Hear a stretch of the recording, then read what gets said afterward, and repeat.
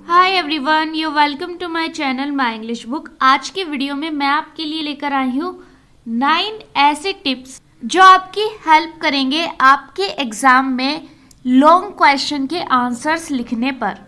Mostly क्या होता है कि स्टूडेंट्स को ये मालूम नहीं होता कि लॉन्ग क्वेश्चन का आंसर किस तरीके से दिया जाता है। उसमें क्या क्या पॉइंट्स को उन्हें इंक्लूड करना चाहिए या क्वेश्चन को किस तरीके से प्रेजेंट करना चाहिए। इस वजह से क्या होता है कि आपके पास क्वेश्चन का आंसर तो होता है, लेकिन आप उसे सही से प्रेजेंट नहीं कर पाते, इसलिए आपके मार्क्स कट हो जाते हैं।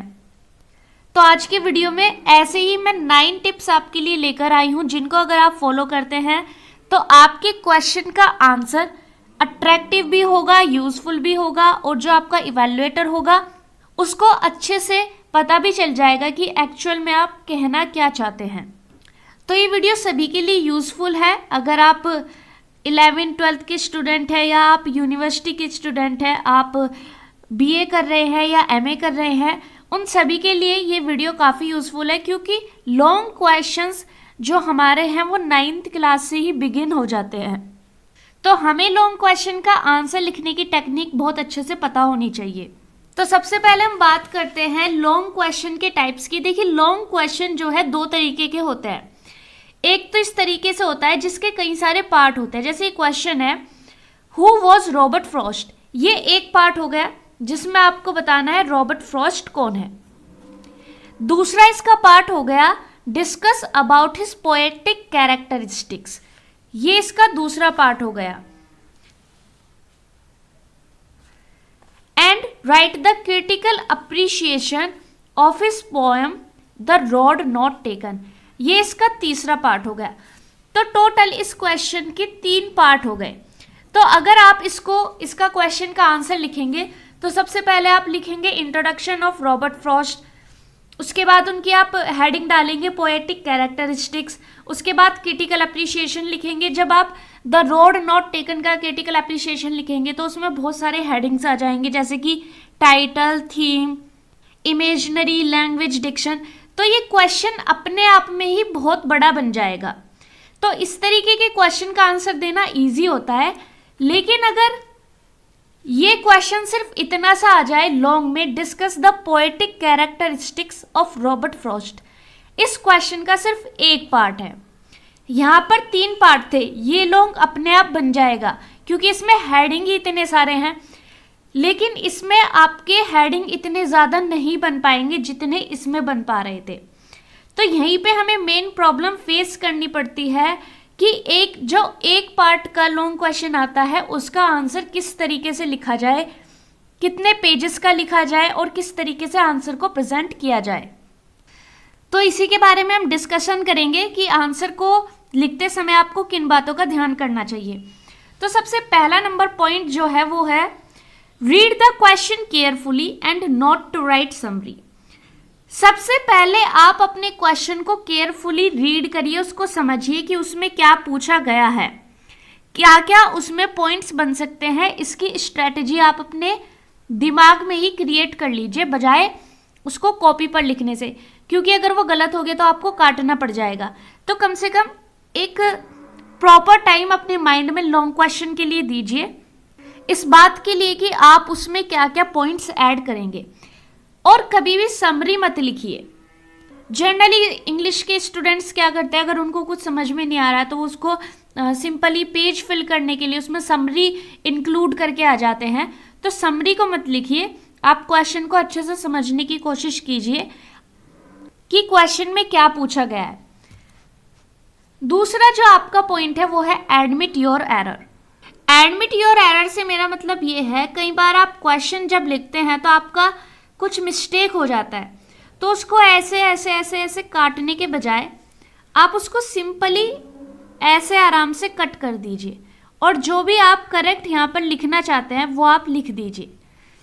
इस तरीके की जो कटिंग होती है, आपके क्वेश्चन को बहुत ज़्यादा डिसअट्रैक्टिव बनाती है और आपके आपका जो इम्प्रेशन है चेकर पर वो गलत पड़ता है। तो सिंपली आप कट कर दीजिए, लेकिन आप ट्राई कीजिए कि आप मिस्टेक्स जितनी हो सके उतनी थोड़ी कम कीजिए। तीसरा पॉइंट है maintain word limit do not fill the pages सबसे पहला, आप वर्ड लिमिट में से बाहर मत निकलिए। अगर आपसे किसी लॉन्ग क्वेश्चन का आंसर 200 वर्ड्स में मांगा गया है तो 200 वर्ड्स में ही दीजिए। उसको 300 तक मत लेकर जाइए। ऐसा नहीं है कि अगर आपने उसको एक्सीड कर दिया तो आपको ज़्यादा मार्क्स मिलेंगे। जो पेपर में कंडीशंस दी गई होती है, उनका भी ध्यान रखना पड़ता है। Do not fill the pages pages को मत भरिए, कुछ भी, ऐसे ही कुछ भी फिल मत कीजिए। अपने कंटेंट से रिलेटेड ही लिखिए। भले ही आपका एक दो पेज कम हो जाए, लेकिन वर्ड लिमिट के अंदर हो और आपने जो कंटेंट लिखा है, वो बिल्कुल सही हो। कई बार स्टूडेंट सोचते हैं, जब वो एग्ज़ाम देकर आता है कि उसके फ्रेंड ने 15 पेजेस भर दिए और उसने सिर्फ़ 10 पेजेस भरे हैं तो वो पर्सन सोचता है कि शायद मुझे कम मार्क्स मिलेंगे, उसने 15 पेजेस फिल किया तो उसको ज़्यादा मार्क्स मिलेंगे। नहीं, मायने रखता है कंटेंट और और वर्ड लिमिट आपने वर्ड लिमिट के अंदर ही 200 शब्दों के अंदर ही आपने बिल्कुल सही कंटेंट लिखा हो। चौथा जो आपके लिए टिप्स है वो है do not create large distancing among the words आपने कई बार कुछ ऐसे स्टूडेंट्स देखे होंगे जो इस तरीके से पेपर में क्वेश्चन का आंसर लिखते हैं। लाइन स्किप करते हैं और वर्ड्स के बीच में बहुत ज़्यादा गैप देते हैं। ये एक आर्टिफिशियल डिस्टेंस है। अदरवाइज़ जितना कंटेंट इस पेज पर लिखा हुआ है, उतना कंटेंट सिर्फ़ दो पैराग्राफ में आ सकता है। ये सेम पैराग्राफ है जो मैंने यहाँ पर लिखा हुआ है। तो इस तरीके की कोशिश मत कीजिए। ये पेजेस फिल करने की टेक्निक होती है, लेकिन ये सब बिल्कुल आर्टिफिशियल है।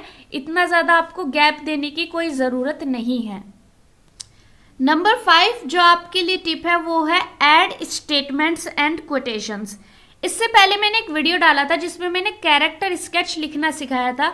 और उस वीडियो में मैंने आपको बताया था कि आप कैसे कोटेशंस को और स्टेटमेंट को अपने क्वेश्चन में ऐड कर सकते हैं। अगर आपने वो वीडियो नहीं देखा है तो लिंक डिस्क्रिप्शन में आप देख सकते हैं, लेकिन मैं आपको बता देती हूँ। ये तरीका होता है कोटेशंस को या स्टेटमेंट को अपने क्वेश्चन में ऐड करने का। इससे फ़ायदा ये होता है कि वैल्यूएटर को पता चलता है कि हाँ आपने टेक्स्ट को अच्छे से पढ़ा है और आपका क्वेश्चन भी काफ़ी अट्रैक्टिव लगता है। और जब भी आप स्टेटमेंट या कोटेशंस को डालें तो उसको हाईलाइट करने का कोशिश करें। उसके बाद नंबर सिक्स जो आपके लिए टिप है, वो है do not write it like a story maintain paragraphs और पॉइंट्स आपका जो भी लॉन्ग क्वेश्चन है, आप उसको एक कहानी की तरह या एक कथा की तरह मत लिखिए। प्रॉपर पैराग्राफ आप छोड़िए। प्रॉपर डिस्टेंस को आप मेंटेन कीजिए। पंक्चुएशन मार्क्स का आप ध्यान रखिए। और पॉइंट्स पैराग्राफ्स को आप अच्छे से मेंटेन कीजिए, जहाँ पे पैराग्राफ आपको छोड़ना है, वहाँ पे पैराग्राफ छोड़िए, उसको प्रॉपरली मेंटेन करके लिखिए, ताकि वो अट्रैक्टिव लगे और पता चले कि कहाँ पर क्या बात कही गई है और क्या नहीं कही गई है। तो ये काफ़ी इंपॉर्टेंट पॉइंट है आपके लॉन्ग क्वेश्चन के आंसर को लिखने में। नंबर सेवन जो आपके लिए टिप है, वो है underline the main points underline या फिर हाईलाइट जो भी आपके क्वेश्चन में मेन पॉइंट्स है, आप उनको अंडरलाइन या फिर हाईलाइट ज़रूर कीजिए, क्योंकि सीधी नज़र उसी पे पड़ती है। जैसे कि अगर किसी राइटर की बायोग्राफी लिखने के लिए आई है, आपने बायोग्राफी लिखी है तो उस बायोग्राफी में पोएट को या राइटर को जो जो अवार्ड मिले हैं, उसके जो सन हैं, जो ईयर्स के टाइम है, उन सबको आप हाईलाइट कीजिए या अंडरलाइन कीजिए। वो काफ़ी यूजफुल और काफ़ी इंपॉर्टेंट इन्फॉर्मेशन होती है इसलिए। नंबर एट जो आपके लिए है, वो है ड्रॉ डायग्राम्स इफ़ रिक्वायर्ड अगर आप साइंस वगैरह के स्टूडेंट हैं तो अगर डायग्राम अगर आपको आता है, आपको पेपर में बनाने के लिए दिया गया है तो डायग्राम को स्किप बिल्कुल मत कीजिए। डायग्राम आप ज़रूर बनाइए। टिप्स नंबर नाइन जो आपके लिए है, वो है do not repeat a word आप बार बार एक ही वर्ड को रिपीट मत कीजिए। For example Evans tries many times to escape from the jail, and it was his fourth time when he is planning for his escape. And HM prison's staff wanted to stop his escape. तो escape, escape, escape यहाँ पे तीन बार आया हुआ है इसमें कुछ problem नहीं है अगर ये बार बार रिपीट हो रहा है चैप्टर से बिलोंग करता है चैप्टर में एस्केप वर्ड का ही यूज़ किया गया है इसमें कोई प्रॉब्लम नहीं है लेकिन अगर आप चाहें तो इस रिपीटेशन से बचने के लिए, जैसे आपने यहाँ पे दो बार एस्केप का यूज़ किया है, जो थर्ड टाइम आपका एस्केप आया है, आप यहाँ पे एस्केप का कोई सिनोनिम यूज़ कर सकते हैं, जैसे इलोपमेंट तो इससे जब इवेल्युएटर आपकी क्वेश्चन को रीड करता है तो उनकी नज़र इस चीज़ पर नहीं जाती और पता भी चलता है कि आपकी वोकेबुलरी कितनी अच्छी है। ये ज़्यादा अट्रैक्टिव भी लगता है और इसमें कोई मिस्टेक भी नहीं है। जो वर्ड चैप्टर में आया हुआ है, एस्केप आपने उसको भी यूज़ किया है और आप उसका सिनोनिम भी लिख सकते हैं। सो आई होप ये वीडियो आपको यूज़फुल लगी होगी। आप इन टिप्स को यूज़ करेंगे अपने लॉन्ग क्वेश्चन के आंसर्स को लिखते समय। And if you like this video please do not forget to subscribe